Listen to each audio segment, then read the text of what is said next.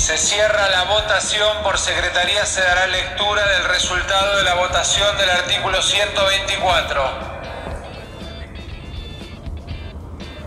140 afirmativos, 60 negativos, 9 abstención. Resulta afirmativo. Bueno, esto sucedió hoy jueves a las 8 y media, 8.25 para ser más preciso, de la mañana cuando se obtuvo entonces la determinación favorable al artículo 124. Usted se preguntará qué es el artículo 124 y por qué lo escuchábamos a Sergio Massa. Básicamente porque en el marco y en el contexto de la ley de presupuesto, la ley de leyes, se aprobó este artículo que beneficia a nuestra provincia porque faculta al Estado Nacional a tener injerencia sobre las cuestiones aduaneras. Es decir, que a partir del primero de enero del año que viene, Misiones podrá tener una zona aduanera. Esto va a, tener, por supuesto, beneficios para todos nuestros coterráneos, dado a que los impuestos diferenciados podrían llegar a tener impacto en nuestra economía, es decir, en el valor del bolsillo. ¿Por qué? Porque al pagar menos impuestos, uno se imagina